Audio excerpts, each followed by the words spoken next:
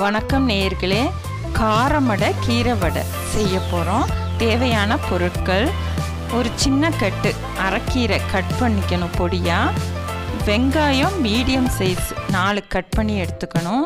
ஒரு கப்பு கடலை மாவு தேவையான அளவு உப்பு ஆயிலும் தேவையான அளவு ஒரு ஸ்பூன் சோம்பு நாலு பட்டை ரெண்டு கிராம்பு ஒரு துண்டு இஞ்சி பூண்டு நாலு பல் பச்சை மிளகா அஞ்சு சிறிதளவு கொத்தமல்லி பொடியாக நறுக்கினது. வடப்பருப்பை ரெண்டு மணி நேரம் ஊற வச்சு தண்ணி இல்லாமல் வடிகட்டி அதோட சோம்பு பட்டை கிராம்பு போட்டு கரகரப்பாக அரைச்சி எடுத்துக்கணும். பூண்டு விழுது சிறிதளவு எடுத்துக்கணும். அது கூட பொடியாக நறுக்கின பச்சை மிளகா சேர்க்கவும். பின்பு கொத்தமல்லி தழை சிறிதளவு சேர்க்கவும். பொடியா நறுக்கி வைத்த பெரிய வெங்காயம் சேர்க்கவும்.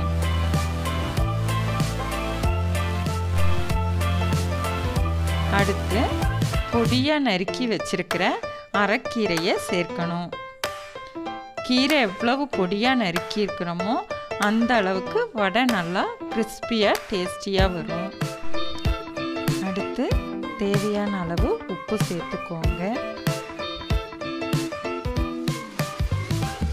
தண்ணி எதுவும் சேர்த்தாம நல்லா கலந்து விட்டுக்கோங்க. அப்போ தான் உருண்டை பிடிக்கிறதுக்கு நமக்கு நல்லா இருக்கும். வடை வந்து எண்ணெய் குடிக்காமல் இருக்கும். அடுத்து வடைப்பருப்பை நம்ம சேர்க்க போகிறோம் அதை நல்லா கலந்து விடணும். அதுக்கப்புறம் கடலை மாவை போட்டு அதையும் நல்லா கலந்து விடணும். அடுத்து பெருங்காயம் கால் ஸ்பூன் சேர்த்துக்கொள்ளணும்.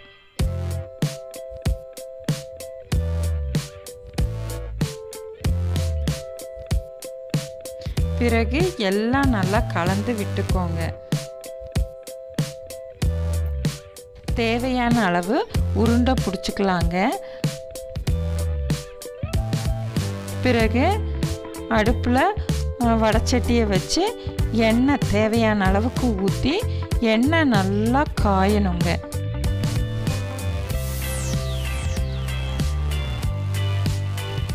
மீடியம் ஃப்ளேமில் வச்சுக்கோங்க.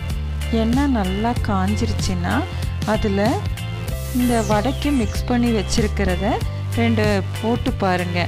அது பொறிஞ்சு மேலே வருண்டோன்னே எண்ணெய் காஞ்சிருச்சு அப்படின்னு நம்ம தெரிஞ்சுக்கலாம். அதுக்கப்புறம் அந்த உருட்டி வச்சுருக்குறோம் இல்லையா? அதை உங்கள் உள்ளங்கையில் ஒரு ஈரப்பதம் இருக்கணும். அதில் அப்படியே வச்சு உருண்டையை உங்களுக்கு எந்த அளவில் வேணுமோ அந்த அளவுக்கு தட்டி போட்டுக்கோங்க.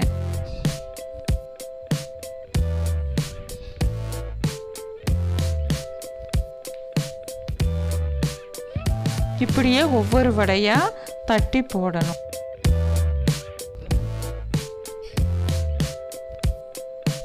இந்த கீரை வடை வந்து இப்படி வடையாக செய்து கொடுக்கும்போது குழந்தைக வந்து அதை சாப்பிட்டுக்குவாங்க.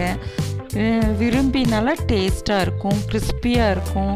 அந்த கலரும் நல்லா அட்ராக்ஷனாக இருக்கும். அப்போ குழந்தைக அது ஒரு ஸ்நாக்ஸாக விரும்பி சாப்பிட்டுக்குவாங்க. கீரை வடையில் அயன் சத்து நிறைய இருக்குது. உடம்புக்கு ரொம்ப நல்லது. இந்த கீரை மட்டும் இல்லை இப்போ நம்ம எடுத்துருக்கிறது அரைக்கீரை. எல்லா கீரையிலையும் இந்த வடை செய்யலாம். முருங்கைக்கீரை வாழைப்பூவில் செய்தால் ரொம்ப டேஸ்ட்டாக இருக்கும். அப்புறம் அதை திருப்பி போடணும். திருப்பி போட்டு அது ஒரு பொன்னிற கலர் வந்தோடனே அதை எடுத்துடணும். இந்த வடை வந்து எண்ணெயே குடிக்காமல் வந்திருக்கு. ஏன்னா இதில் நம்ம தண்ணியே சேர்த்தாதனால நல்லா டேஸ்ட்டாக கிறிஸ்பியாக எண்ணெயே குடிக்காமல் நல்லா வந்திருக்கு. இந்த வடைக்கு சேர்த்துருக்கிற கீரை வந்து காரமடையில் வாங்கினனால காரமடை கீரை வடை அப்படின்னு பேர் வச்சுருக்கோம்.